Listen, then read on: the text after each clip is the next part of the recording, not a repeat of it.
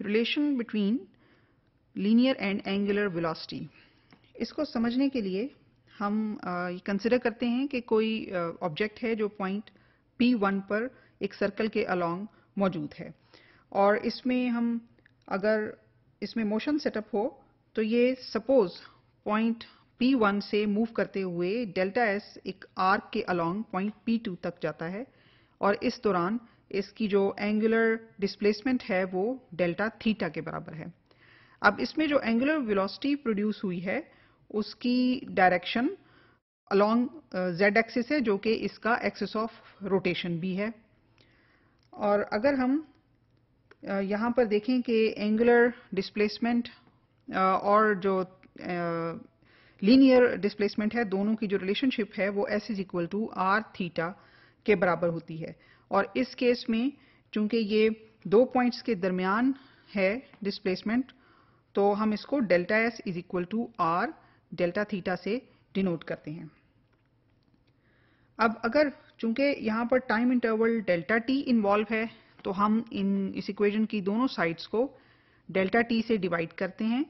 Divide करने से हमें लेफ़्ट हैंड साइड पर मिलता है delta S by delta T और राइट हैंड साइड पर हमें मिलता है R into delta theta by delta T अब हम ये जानते हैं कि जो राइट हैंड साइड पर delta theta by delta T है, उसको हम बेसिकली एंगुलर वेलोसिटी कहते हैं। और जो लेफ़्ट हैंड साइड पर delta S by delta T है, उसको हम लीनियर वेलोसिटी के तौर पर डिफाइन करते हैं।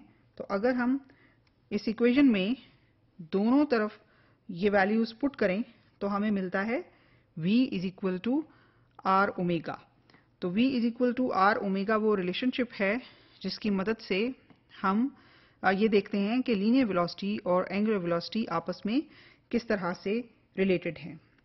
अब हम देखते हैं कि जो यहाँ पर लीनियर वेलोसिटी है, वो बेसिकली ऑब्जेक्ट की टेंजेंशियल वेलोसिटी है।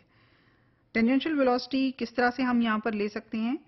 कि अगर किसी भी टाइम इंस्टेंट के ऊपर हम फॉर एग्जांपल यहाँ पर हम P1 पॉइंट के ऊपर इस ऑब्जेक्ट को कंसिडर कर रहे हैं, अब इस, इसको हम मैथमेटिकली कुछ इस तरह से लेते हैं कि डेल्टा टी इंटरवल पर हम लिमिट अप्लाई करते हैं that it tends to zero अगर डेल्टा टी इंटरवल जो है वो ज़ीरो को अप्रोच करे तो उस दौरान ये जो P1 P2 आर्क है, इसकी लेंथ इतनी कम हो जाएगी कि ये तकरीबन एक टेंजेंट के तौर पर रिप्रेजेंट होगी, जैसा कि आप यहाँ पर देख रहे हैं। अब उस वक्त जब हम इसको एक टेंजेंट के तौर पर ले रहे हैं, उस वक्त इसके ऊपर इसकी जो वेलोसिटी होगी, वो अलोंग दिस टेंजेंट होगी। तो उसको हम टेंजेंशियल वेलोसिटी कहते हैं, और वो आप देख रहे हैं कि उसका जो वेक्टर है, वो सर्कल के साथ यहाँ पर टेंजेंट के तौर पर शो हो रहा है। अब ये जो वेलोसिटी है उसका मैग्नीट्यूड जो है, वो हमेशा लीनियर वेलोसिटी v के बराबर होगा।